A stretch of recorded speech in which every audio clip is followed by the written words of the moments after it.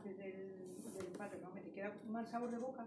Sí, se me queda porque bueno, se había puesto el partido de cara con la expulsión de, del jugador de, de la Antequera y no, eh, no, hemos sabido leer en la segunda parte como lo hicimos el día del Sanluqueño. Creo que nos faltase más eh, superioridad por fuera con más gente, eh, intentar jugar un poquito más espacio.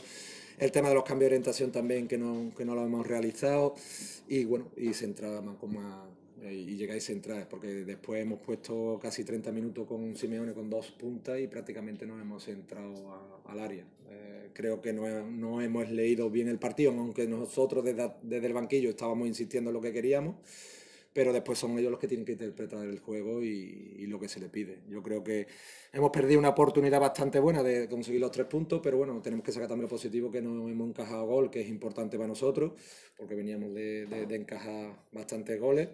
Y bueno, la primera parte pues hemos hecho un partido bastante bueno en ese sentido. Y lo que nos ha faltado, bueno, pues interpretar un poquito mejor el segundo tiempo para crearle ocasiones, aunque la hemos tenido al final una que, y la de David creo, que ha sido dos. Hemos pasado de que no nos crea ocasiones a crear nosotros poca también, pero prefiero hacer defensivamente más fuerte porque con la portería cero tendremos más opciones de ganar.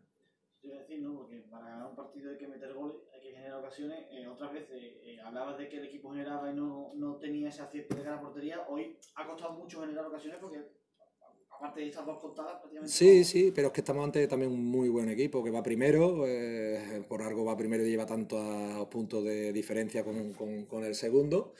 Y es muy buen equipo y nosotros hemos sabido contrarrestarle muchas veces su juego. Ellos prácticamente tampoco han tenido ocasiones, salvo una al final que creo que es el centro y, ahí es de, de elogio porque este equipo suele crear muchas ocasiones. Me parece el día del recreo, no sé si tuvieron 7, 8 o 9 muy claras y, y ganaron 0-2. Y aquí pues no han conseguido ganar, aunque se hayan quedado con un jugador menos. Pero esto es fútbol, al final te quedas con un jugador menos. Nosotros hemos quitado los que teníamos amarilla para evitar que se igualara la contienda.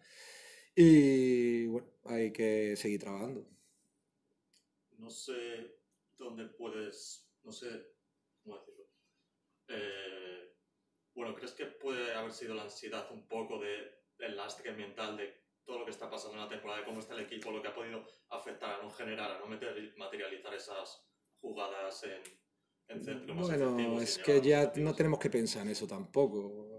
Después tenemos que, que, salir y dar todo lo que, lo que tengamos. Eh, yo, yo, yo, me baso en rendimiento y si el futbolista no rinde, puede pasar de ser titular a la grada y ha pasado. Y lo que tengo que hacer es analizar el partido jugador que haya rendido y jugador que no haya rendido, pues a lo mejor esta semana pues, tiene que ir a la grada. Aquí ha pasado esta semana y yo me tengo base en rendimiento futbolista que estén rindiendo, pues jugará. Hoy han jugado la pareja de centrales, Hugo y, Álvaro, que son gente jovencita, han hecho un partidazo. La semana que viene tienen el 90% de seguir jugando.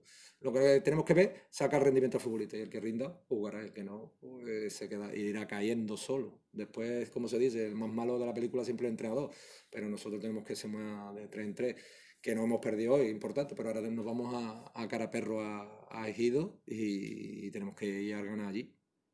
Entiendo que al menos te llevas esa faceta defensiva. Sí, es que llevábamos ya, desde que hemos llegado al tema defensivo, hemos dado muchas vueltas al tema defensivo y, y, bueno, los últimos dos partidos habíamos, habíamos encajado cinco goles y lo que teníamos que parar esa sangría de, de ocasiones que nos creó el, el, Cádiz. Bueno, que el Cádiz es verdad que las tres que no hicieron no las metieron. Y el día del saluqueño es verdad que las dos primeras donde cometemos errores también no, no, nos penalizan. Esta semana pues el equipo a nivel defensivo está mucho más mejor, más, más juntito a las líneas, más más equilibrio entre los pivotes y al final el equipo defensivamente no, no ha sufrido. Sí que tenemos que mejorar a nivel individual ese, ese rendimiento de, del futbolista, un poquito más. Igual que nosotros, igual que nosotros hacemos autocrítica al cuerpo técnico, todo el mundo tiene que hacer un poquito de autocrítica para ir mejorando un poquito. Eh, mencionaba la, la pareja de centrales, también ha salido de inicio Antonio Miguel primeros minutos de la temporada, como lo has visto también. Muy bien, la verdad que muy bien. Nosotros, eh, ya lo he dicho, llevamos una sangre de, go de, de goles. ¿Qué tenemos que hacer? Intentar cambiar algo. ¿Y qué, qué, qué hemos decidido esta semana? Porque Antonio sea el portero. Yo creo que ha hecho un muy buen partido, eh, dando seguridad y todo. Aunque también viene, viene de hacer una buena temporada, pero bueno, al final son momentos de, de, la temporada donde hay un rendimiento más alto, un rendimiento más bajo y tenemos que tomar decisiones. Y, y bueno, ha sido estas tres de de meter a Antonio, a, a Hugo y a, y a Álvaro. Y bueno, nosotros estamos contentos con su rendimiento. Eh, ¿Qué ha pasado con, con Menéndez? Porque creo que se ha lesionado el calentamiento, ¿no? El calentamiento ha sentido un pequeño, creo que ha sido el aductor donde hace una pequeña molestia y entonces eh, no, no hemos querido tampoco arriesgar en ese sentido porque puede, si ya a lo mejor juega y se rompe son tres o cuatro semanas, entonces hemos decidido al final que, que no jugase. Igual que Oca esta semana se rompió un poquito y se rompió y tuvo una pequeña rotura. Pero bueno, la noticia la hemos dado hoy, pero nosotros ya lo sabíamos de, a partir de- del viernes. Pero bueno, eh, son bajas que estamos teniendo, nos tenemos que eh, asimilar a ellas. Eh, se saca un punto con el líder, eh, que además con los resultados hace que se recorte un punto la permanencia. El equipo estaba 4 a 3, no sé si esa es la lectura más positiva que se puede sacar. Sí, es que tenemos que sacar lecturas positivas. Es que si vamos a lo negativo, nunca vamos a intentar salir de ahí. Nosotros, que el, equipo tiene que ir creciendo y estamos creciendo. Ahora estamos creciendo a nivel defensivo.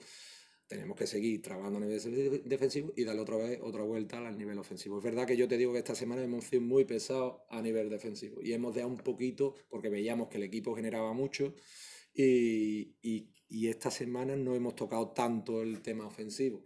Entonces vol- volveremos a hacer un equilibrio entre las dos cosas y, y esperemos que se vea el domingo en Poligiro.